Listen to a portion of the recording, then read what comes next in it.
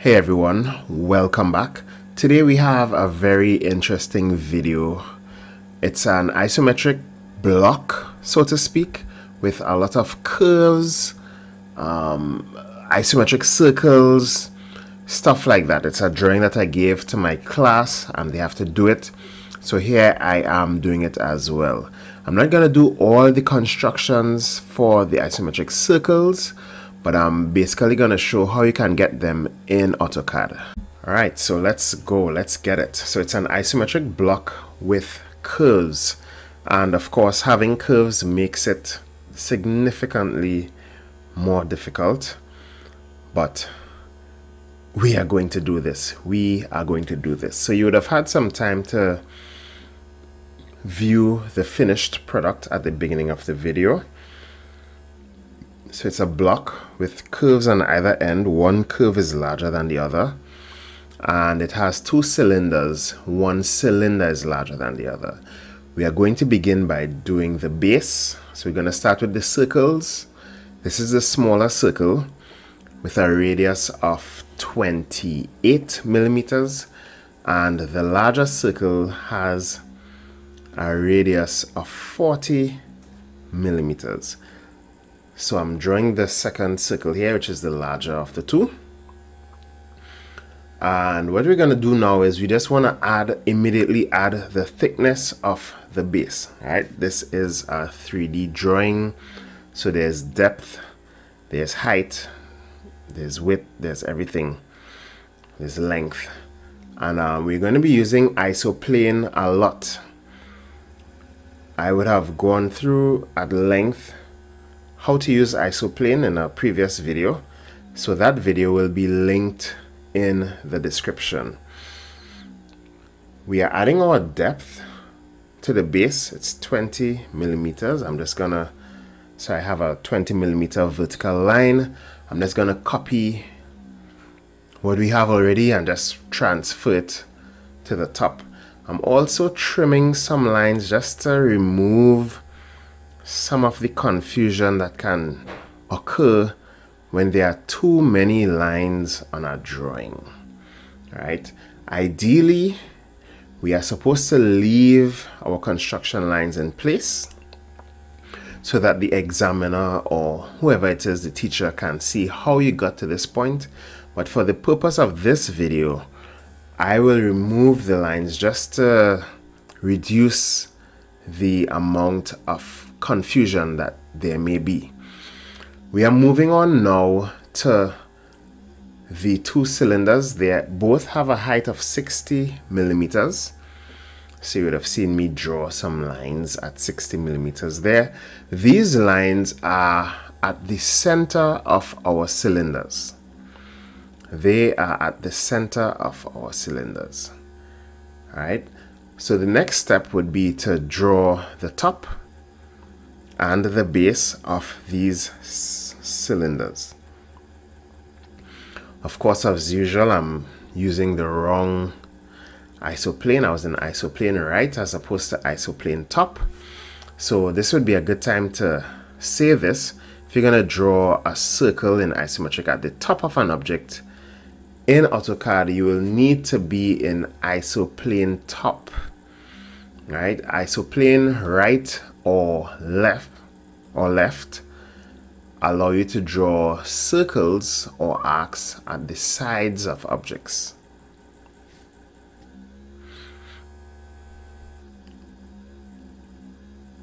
Right, so we have drawn our first cylinder and we have our second cylinder, well the top of the tops of the cylinders. To get the base, I'm simply going to copy simply going to copy the tops of them and paste it at the bottom. Now, if you are doing this for an official exam, you will be required to actually do the construction for uh, for a circle in isometric. That is in another video that I've done and that will also be linked below. And my students, yes, they will have to do the construction. Right, for the purpose of the video, I'm just skipping that part. I'm inserting the sides of the cylinders. It's just at the very corner, left and right. You pull down a vertical line. And what it does is it gives your cylinder the 3D look that you so desire.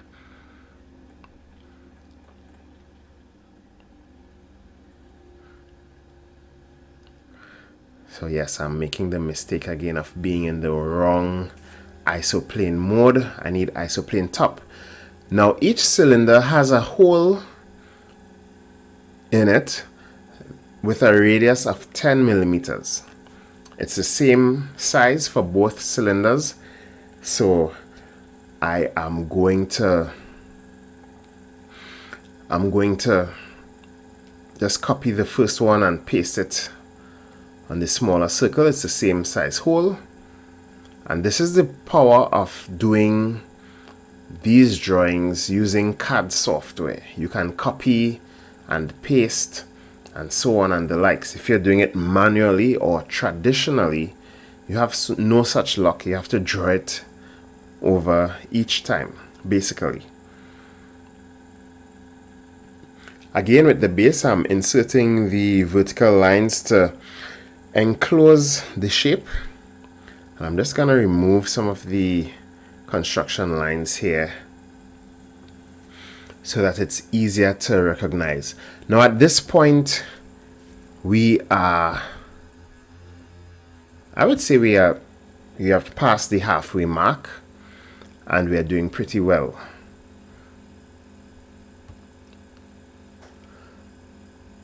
Now there's a bridge connecting the two circles and there are some points of tangency. So this is what we are going to get into now. Okay, so let me explain how we got this circle that is at the base of the larger cylinder. Now we would have covered it in a previous video and it's how to draw an external tangent to two circles of different sizes. What you do is you subtract the radius of the smaller circle from the larger circle. So in this case, this the radius of the smaller circle is 28 and the radius of the larger circle is 40. So if you take 28 from 40, it will leave you 12. So the circle that is drawn at the base of the larger cylinder has a radius of 12. As I said earlier, I'm going to do a follow-up video where I insert the different dimensions just in case you want to draw this isometric block using the same dimensions. Alright, so that's the explanation of what you're going to do here. And um, as we continue, I'm going to explain what's taking place. Right, so I've explained how we got this circle and what's going to happen now is we need to draw a semicircle right um, on the line connecting both centers of the cylinders. I'm just neatening this up a bit. So this semicircle is going to cut through our circle with a radius of 12 as you can see here. And we need to draw a line from the center of the larger cylinder to the point of intersection. Like this. Now this line will be extended to the circumference of the base and this will be our point of tangency. We need a line parallel to this at the at the other end the smaller side of the base. So I simply copied it and put it over there. So where these two lines touch the circumference, these are our points of tangency. I have drawn in the line already and looks pretty good. So we're just going to copy it now and paste it to the bottom and voila, there you have it. This is the side of the base. It may look a bit confusing right now with all the construction lines, but we are doing a pretty good job. It's at this point that I realized that I should have just left the full circle because I have to do the same thing on the other side of the base or the back side of the base. So again, semicircle to cut the radius 12 line, sorry, the radius 12 circle. And then we extend the line through that point. Do a little trim here and just neaten it up a bit and we need it to be parallel so we're going to copy it and paste it at the other end. And lastly we are going to join the two points like this. Now if that happened a bit quickly for you feel free to watch the video repeatedly or slow it down or anything you need to do in order to get a clearer picture. I would say we are about 80% through. Um, there's a bridge connecting both cylinders. If you remember from the beginning of the video, there's a bridge collect connecting both cylinders. So we're going to work on that. Um, so we have connected the centers at the top and I'm just extending it down to the base. Alright, great. So we know where the center of the smaller cylinder is. And this is very important. Now, the bridge has a width of 10 millimeters.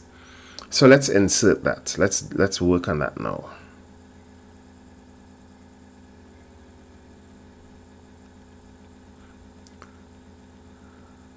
Right, so from the center line on the larger cylinder. I'm going to extend a line of 5 millimeters on either side. And um, we know that 5 and 5 makes 10 so that's how we're going to get our width right? So the bridge is 10 millimeters wide. So that's what we have there and we have the centers identified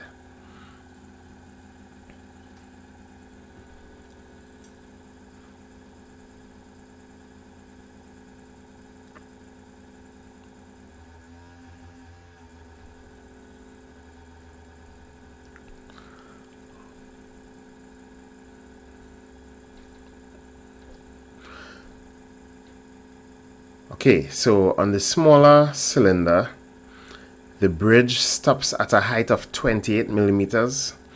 So we would have just drawn a vertical line of length 28 and we have brought across the center line of the bridge. So it starts at the top of the larger cylinder and goes to mm, about two-thirds almost the height of the smaller cylinder. I'm simply copying this line now, the center line that we drew. I'm simply copying it so that we have our width, but the two corners don't quite touch the larger cylinder. So I'm going to extend them past the circumference of the top to ensure that they are making contact with it.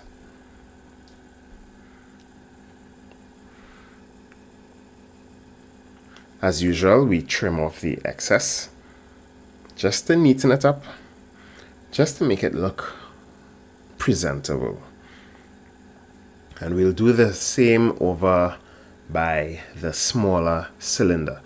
Now at this point, you are about 90% finished. You're about 90% finished with this drawing.